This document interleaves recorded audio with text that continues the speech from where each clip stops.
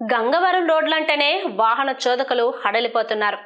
పెదగంట నుండి గంగవరం వైపు వెళ్ళే రహదారిలో వెంకనపాలెం కూడలి వద్ద శ్రావణి షిప్పింగ్ వెళ్ళే రహదారిలో నిత్యం ప్రమాదాలు జరుగుతున్నాయి. ఈ రోడ్లో నిత్యం భారీ వాహనాలు అతివేగంతో దూసుకుపోతున్నాయి. భారీ వాహనాల అతివేగానికి కళ్ళం వేసేందుకు ట్రాఫిక్ పోలీసులు ఏర్పాటు చేసిన స్టాపర్లు తుప్పట్లో దర్శనమిస్తుండటంతో ఆ దారి ప్రమాదాలకు నిలయంగా మారుతుంది. ఈ ప్రాంతంలో ఒకవైపు గంగవరం పోర్టు ఇంకొక వైపు మత్స్యకార కాలనీలు మరోవైపు ఆటోనగర్కు చెందిన పరిశ్రమలు ఉన్నాయి. ఉద్యోగస్తులు వ్యాపారులు ఇతర కూలి పనులు చేసుకునే వారి నిమిత్తం గాజువాక వచ్చి వెళ్ళే ప్రజలతో గంగవరం రోడ్లు నిత్యం రద్దీగా ఉంటుంది. వెంకన్నపాలెం కూడలి వద్ద శ్రావణి షిప్పింగ్ గోడౌన్ వద్ద సరుకులు రవాణా చేసే వాహనాలు అధిక సంఖ్యలో ప్రయాణం చేయడం వల్ల వాహనదారులకు ఎవరు ఎటువైపు నుంచి వస్తున్నారో తెలియక ఒకరినొకరు ఢీకొనడం గాయాల పాలవ్వడం ఒక వ్యక్తి చనిపోవడం కూడా జరిగింది. రోడ్డుకి ఇరువైపులా భారీ వాహనాలు పార్కింగ్ చేయడంతో మరిన్ని సమస్యలు వస్తున్నాయి. గంగవరం గ్రామస్తు నా పేరు బడమస్లయ్య. ఈ రహదారి ఏంటంటే గంగవరం ప్రజలు ప్రతిరోజు డ్యూటీకి వెళ్ళి వచ్చే టైము. ఈ టైం మీద ఎన్నిసార్లు సేవని కూడా చెప్పినా ఎవరూ పట్టించుకోవట్లేదు. ఆల్రెడీ ట్రాఫిక్ పోలీసులు చెప్పినా ఈ సేఫ్టీ మెయిన్ సేఫ్టీ టైంలోనే ఈ బళ్ళు వెళ్తున్నాయి. ఇవి వెళ్తున్నాయి. అగో సేఫ్టీ టైం పాటించట్లేదు ఏమీ పాటించట్లేదు. ఈరోజు మూడు ఆవులు గుద్దేశారు. రేపు మనుషులు గుద్దేసి ఇలాగ వెళ్ళిపోతారు. ఎవరు పట్టించుకుని నాదులే ఒక ఎమ్మెల్యే కానీ ఒక ఎంపీ కానీ ఈ స్థానికంగా ఉన్న లీడర్లు కూడా దీని మీద సేవని కూడా డబ్బులు ఇస్తే డబ్బులు తీసుకొని ఈరోజు ఇలా చేస్తున్నారు. తక్షణమే ఈయన మీద జీవీఎంసీ కమిషనర్ కానీ జిల్లా కలెక్టర్ కానీ స్పందిస్తాడని గ్రాంగవారం గ్రామ ప్రజల తరపున నేను విజ్ఞప్తి చేస్తున్నాను.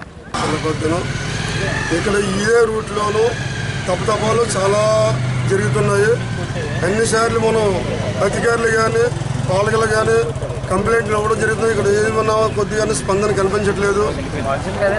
లారీలు ఓ- చేయడం ఈ రూట్లోనూ చాలా ఇబ్బందులు అయిన పరిస్థితులు కనిపి మహేష్ డివైఎఫ్ఐ సిటీ ప్రెసిడెంట్ని ఏదైతే రెండు వేల పంతొమ్మిది ఎలక్షన్లో స్థానిక ఎమ్మెల్యే గారు అలాగే రాష్ట్ర ముఖ్యమంత్రి వైఎస్ జగన్మోహన్ రెడ్డి గారు గంగవారు ప్రతినిధులు కూడా మమ్మల్ని గెలిపిస్తే ఖచ్చితంగా ఈ గ్రామాన్ని తరలిస్తామనేసి హామీ ఇచ్చారు. తరలించడమే కాకుండా వాళ్ళకు ఉపాధి కూడా కల్పిస్తామనేసి హామీ ఇచ్చి ఉన్నారు. కానీ ఇప్పుడు గెలిచి సుమారు రెండున్నర సంవత్సరాలు గడుస్తున్నా సరే గంగవారు తరలింపు కోసం కానీ లేదా గంగవరం పూర్తి యాజమాన్యం మీద కానీ ఎటువంటి చర్యలు తీసుకునే బాబు కూడా కనిపించట్లేదు. స్థానిక ఎమ్మెల్యే గారు ఈరోజు గెలిచి ఒక్క సరే గంగవరం వచ్చి గంగవరం ప్రజలు ఎలాగున్నారు? వాళ్ళ స్థితిగతులు ఎలాగున్నాయి అనేసి మాత్రం అడిగే బాపత కూడా కనిపించట్లేదు. ఈరోజు గంగవరం కోర్టులో స్థానికులు అంటే ఉపాధి ఇవ్వకుండా వాటిని నిర్లక్ష్యంగా బయటకు వెళ్తే యాజమాన్యం ఈ రోజుకి ఉంటే ఆ యాజమాన్యానికి స్థానిక ఎమ్మెల్యే గారు స్థానిక ప్రజాప్రతినిధులు కూడా వాళ్ళు కమ్ము కాసే పరిస్థితి ఈరోజు ఏర్పడుతుంది. గంగవరం నుంచి వెలువడే ప్రతి దూడుకి దుమ్ముకి కూడా గంగవరం ప్రజలు బలైపోతున్నారు. వాళ్ళకి అనేక రుగ్మతులకి గురవుతున్నారు. అనేక హానికరమైన రోగాలు కూడా వాళ్ళకి వ్యాప్తి చెందే పరిస్థితి ఈరోజు వస్తుంది. ఈరోజు చూసుకుంటే ఖచ్చితంగా ఆడవాళ్ళకి గర్భం పోయే పరిస్థితి ఉంది.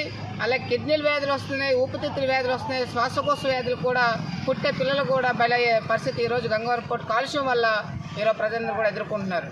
అటువంటి గంగవరం పోర్టు కాలుష్యం నుంచి ప్రజల్ని ఈ గంగవరం నాలుగు గ్రామాలని సురక్షిత ప్రాంతాలు తరలిస్తామని ఇచ్చిన హామీని ఖచ్చితంగా స్థానిక ఎమ్మెల్యే గారు మన ముఖ్యమంత్రి వైఎస్ జగన్మోహన్ రెడ్డి గారు నిలబెట్టుకోవాలి. లేకపోతే ఖచ్చితంగా వీళ్ళని నిలదీసే పద్ధతిగా ప్రజలు చైతన్య చేసి ముందుకు నడిపించుకెళ్తాం.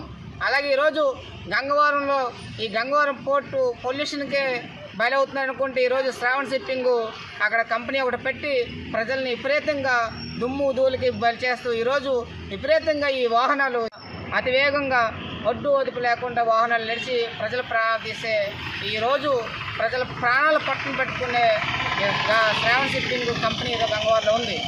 దాన్ని కూడా దానికి ఎమ్మెల్యే కానీ లేదా కార్పొరేటర్ కానీ ఎవ్వరూ కూడా ఈ వాహనాలు ఈ రోడ్లు నడపకూడదు.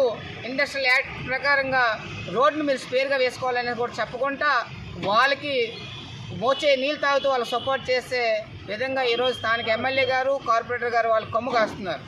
ఖచ్చితంగా ఈ యొక్క విధానాలని విన్నాడి ప్రజలకి క్షేమం కోరే ప్రజలకు న్యాయం చేసే విధంగా మీ అందరూ కూడా ప్రజల పక్షాన్ని నిలబడాలి. లేకపోతే మేము ఖచ్చితంగా ప్రజలను చైతన్యం చేసి వచ్చే ఎలక్షన్లో మిమ్మల్ని గద్దదించే విధంగా ప్రజలను చైతన్యం చేస్తామని హెచ్చరిస్తున్నాం.